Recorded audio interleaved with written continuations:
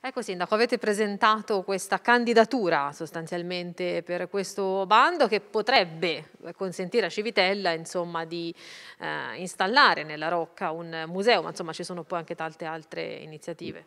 Sì, era una manifestazione di interesse prodotta dalla Regione Toscana per dei fondi nazionali su un bando del PNR in cui si andava a selezionare, c'è una selezione di un borgo in Toscana su cui fare intervento di rigenerazione urbana, rigenerazione e sociale e tanto altro. Civitella ha ritenuto ritenuto importante partecipare a questo bando con il, il borgo, il borgo di Civitella, con un progetto che si articola in tre grossi filoni.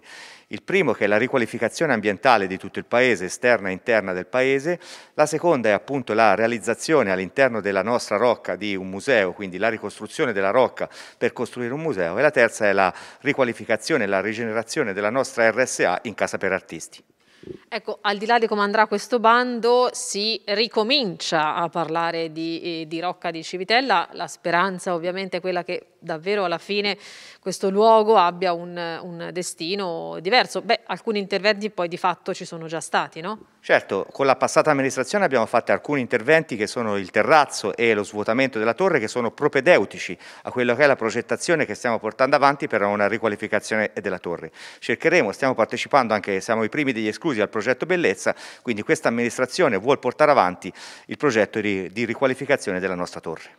Nel PNRR quanto ci contate, al di là di questo progetto, ma insomma comunque in generale?